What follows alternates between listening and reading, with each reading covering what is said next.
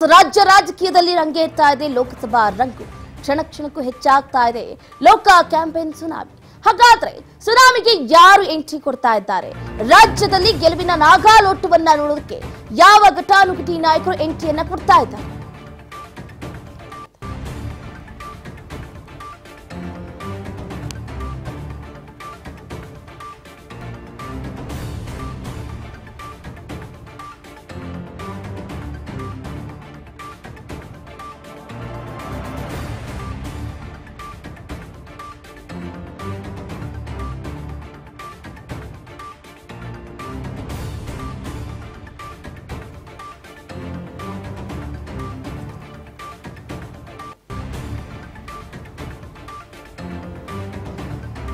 S ದೆಹಲಿಯ ದಂಡ ನಾಯಕರು.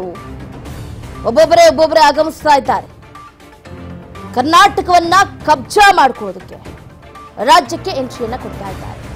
ಗೆಲುವಿನ ಗಾಳಿಪಟವನ್ನ ಹಾರಿಸೋದಕ್ಕೆ ಕೈ ಕಮಲ ಇನ್ನಿಲ್ಲದ ಸರ್ಕಸ್ ಅನ್ನ ನಡೆಸ್ತಾ ಇದೆ.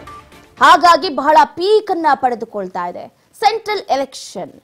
ಈಗಾಗಲೇ ಕ್ಯಾಂಪೇನ್ ಅನ್ನ ನಡೆಸಿ ರಾಜ್ಯದಲ್ಲಿ ಸುನಾಮಿಯನ್ನ ಎಬ್ಸೋದಕ್ಕೆ ಇತ್ತ ದೆಹಲಿಯ ನಾಯಕರೇ ಆಗಮಿಸ್ತಾ ಇದ್ದಾರೆ. ಒಂದು ಕಡೆ ಈಗಾಗಲೇ ನಾವು ಕಾಂಗ್ರೆಸ್ನಲ್ಲಿ ನೋಡಿದ್ವಿ, ಏಪ್ರಿಲ್ ಹದಿನೇಳನೇ ತಾರೀಕು ಅಥವಾ ಏಪ್ರಿಲ್ ಹದಿನಾರನೇ ತಾರೀಕು ರಾಜ್ಯಕ್ಕೆ ರಾಹುಲ್ ಗಾಂಧಿ ಅವರು ಆಗಮಿಸ್ತಾರೆ. ಬೆಂಗಳೂರು ಆಗಿರ್ಬೋದು, ಹಾಸನ ಆಗಿರ್ಬೋದು, ಈ ಭಾಗದಲ್ಲಿ ಮಿಂಚಿನ ಸಂಚಾರವನ್ನು ನಡೆಸುವುದರ ಮುಖಾಂತರ ಈ ಬಾರಿ ಲೋಕಸಭಾ ಚುನಾವಣೆಯಲ್ಲಿ ಭರ್ಜರಿ ಮತವನ್ನ ಗಳಿಸಬೇಕು. ಭರ್ಜರಿಯಾಗಿ ಈ ಬಾರಿ ಲೋಕಾಕ್ಷೇತ್ರವನ್ನ ಗೆಲ್ಲಬೇಕು ರಾಜ್ಯದಲ್ಲಿ ಅನ್ನುವಂತ ನಿಟ್ಟಿನಲ್ಲಿ ಚಿಂತನೆಯನ್ನ ಮಾಡ್ತಾ ಇದೆ. ಬಿಜೆಪಿಯಿಂದ ಯಾರು ಬರ್ತಾ ಇದ್ದಾರೆ?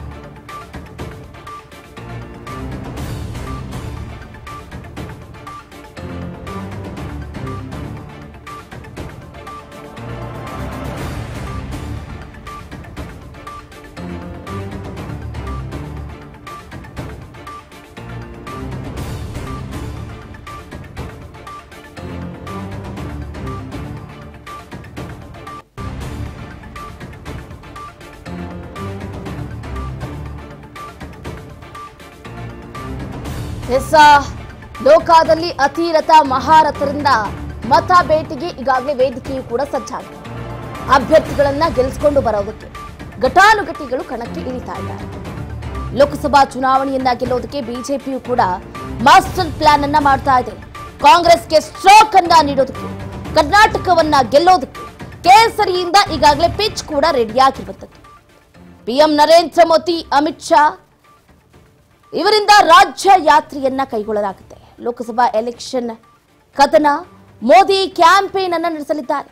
ದಕ್ಷಿಣ ಕನ್ನಡ, ಉತ್ತರ ಕನ್ನಡ ಮತ್ತು ಚಿಕ್ಕಮಗಳೂರನ್ನ ಟಾರ್ಗೆಟ್ ಮಾಡ್ಕೊಂಡಿದ್ದಾರೆ. ಯಾಕಂತಂದ್ರೆ ಗೆಲುವು ನಿಶ್ಚಿತ ಅನ್ನುಕೊಳ್ಳುವ ಸಮಯದಲ್ಲೇ ಇತ್ತ ದಕ್ಷಿಣ ಕನ್ನಡ ಬಹಳ ಟಫೆಸ್ಟ್ ಫೈಟ್ ಅನ್ನ ಕೊಟ್ಟಿತ್ತು. ನರೇಂದ್ರ ಮೋದಿ ಅವರಿಗೆ ಯಾವ ಭಾಗವನ್ನಾದರೂ ಈಸಿಯಾಗಿ ಗೆಲ್ಬಹುದು. ಆದರೆ ದಕ್ಷಿಣ ಕನ್ನಡ, ಉತ್ತರ ಕನ್ನಡವನ್ನು ಗೆಲ್ಲೋದು ಬಹಳ ಕಷ್ಟಕರ ಅಂತ ಗೊತ್ತಾದ ತಕ್ಷಣ ಈ ಭಾಗದಲ್ಲೇ ಮಿಂಚಿನ ಸಂಚಾರವನ್ನು ನಡೆಸುವುದಕ್ಕೆ ಎಂಟ್ರಿಯನ್ನು ಕೊಡ್ತಾ ಇದ್ದಾರೆ. ಅದರಲ್ಲೂ ಮುಖ್ಯವಾಗಿ ಬ್ರಿಜೇಶ್ ಚೌಟ, ಶ್ರೀನಿವಾಸ್ ಪೂಜಾರಿ ಅವರ ಪರವಾಗಿ ರೋಡ್ ಶೋವನ್ನು ನಡೆಸಿ ಸಮಾವೇಶದ ಮೂಲಕ ಕಾಂಗ್ರೆಸ್ಗೆ ಗುನ್ನ ಕೊಟ್ಟು ಬಿಜೆಪಿಯ ಪರವಾಗಿ ಅಲಿಯನ್ನ ಎಬ್ಬಿಸೋದಕ್ಕೆ ಪ್ರಧಾನಿ ನರೇಂದ್ರ ಮೋದಿ ಅವರ ಆಗಮನ ಆಗ್ತಾ ಇದೆ.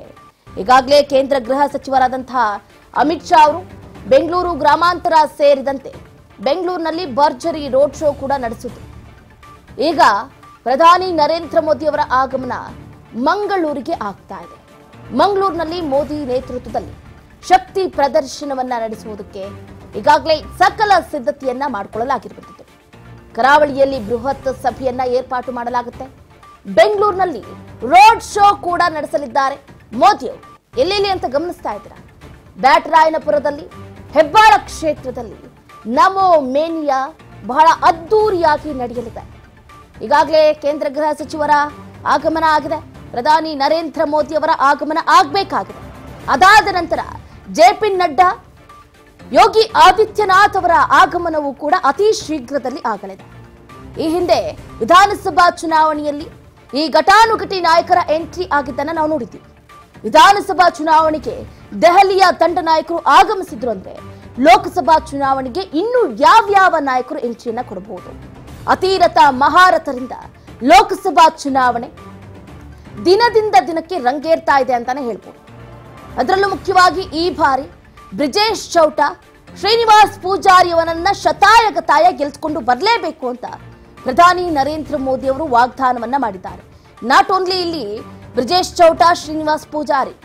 ಬಿಜೆಪಿ ಎಲ್ಲೆಲ್ಲಿ ಸ್ಪರ್ಧೆ ಮಾಡ್ತಾ ಇದ್ದು ಇಪ್ಪತ್ತೆಂಟು ಲೋಕಸಭಾ ಕ್ಷೇತ್ರಗಳಲ್ಲೂ ಕೂಡ ಮತ ಕಹಳಿಯನ್ನ ಮೊಳಗಿಸುವುದಕ್ಕೆ ಮೋದಿ ಎಂಟ್ರಿಯನ್ನ ಕೊಡ್ತಾ ಇದ್ದಾರೆ. ಇದರ ನಡು ನಡುವೆ ಬೃಹತ್ ಸಮಾವೇಶದ ಮೂಲಕ ಕಾಂಗ್ರೆಸ್ ಕಾಂಗ್ರೆಸ್ನ ಧೂಳೆಬ್ಬಿಸಿ ಭಾಷಣದ ಮುಖಾಂತರವೇ ಕಾಂಗ್ರೆಸ್ನ ದುರಾಡಳಿತವನ್ನ ಎತ್ತೆತ್ತಿ ತೋರಿಸಬೇಕು ಅನ್ನುವಂತ ನಿಟ್ಟಲ್ಲಿ ಪ್ರಧಾನಿ ನರೇಂದ್ರ ಮೋದಿ ಅವರ ಎಂಟ್ರಿ ಆಗ್ತಾ ಇದೆ. ಕಾದ್ ನೋಡ್ಬೇಕಾಗುತ್ತೆ. ಏಪ್ರಿಲ್ ಹದಿನಾಲ್ಕರಂದು ಮಂಗಳೂರಿನ ಗೋಲ್ಡ್ ಪಿಂಚ್ ಮೈದಾನದಲ್ಲಿ ಮೋದಿ ಬೃಹತ್ ಸಮಾವೇಶವನ್ನ ನಡೆಸಲಿದ್ದಾರೆ. ಅದರ ಈ ನಡುವೆ ಮೋದಿ ಬೃಹತ್ ರೋಡ್ ಶೋ ನಡೆಸುವುದಕ್ಕೆ ಬಿಜೆಪಿ ಮುಂದಾಗಿದೆ.